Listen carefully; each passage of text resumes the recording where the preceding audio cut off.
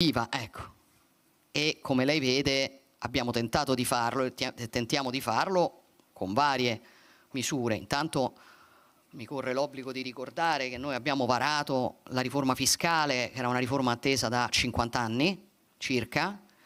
Voglio ringraziare anche eh, il MEF, in particolare il, il Vice Ministro Leo, per un lavoro estremamente veloce di eh, affermazione, diciamo così, di, di stesura dei decreti che dipendono